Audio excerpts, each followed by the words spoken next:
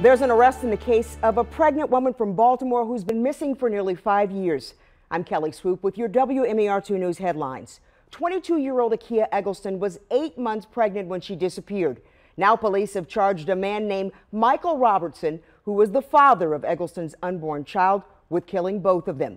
Eggleston disappeared four days before her baby shower back in May of 2017.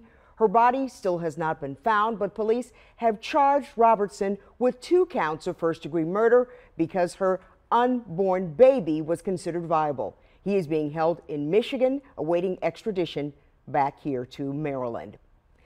An 18 year old has been charged with murdering the husband of a Baltimore City police detective. The victim, James Blue, was killed last month outside of his rental property on Walker Avenue.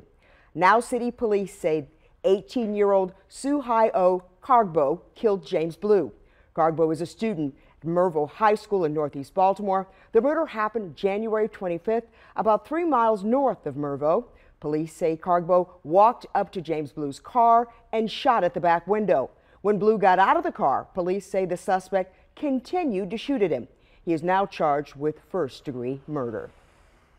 We gave the gift of reading to students at a school in North Baltimore thanks in part to your generosity. Last year, we collected about $13,000 in donations during our If You Give a Child a Book campaign, which is done in partnership with the Scripps Howard Foundation. We used that money to buy 2,600 books. Students at Abbottston Elementary School got to take home four books to add to their personal libraries. The school also gets about $6,600 to upgrade its library. And now from WMAR 2 News, Maryland's most accurate forecast. And we're looking at lots of sunshine as high pressure dominates your forecast for your Saturday. Temperatures climbing into the 30s this afternoon, and that's as good as it gets. We top out near 33 degrees here in the city of Baltimore. Same for Annapolis, 34 in Easton, upper 20s in Westminster and Parkton. And we're keeping it dry for the next seven days. Temperatures gradually improving as we make our way through the weekend into Monday, upper 40s by Wednesday, into the 50s by Thursday. Stick with us online for updates on top stories and breaking news, and also for news and weather while you're on the go. Download the WMAR2 News app in your app store.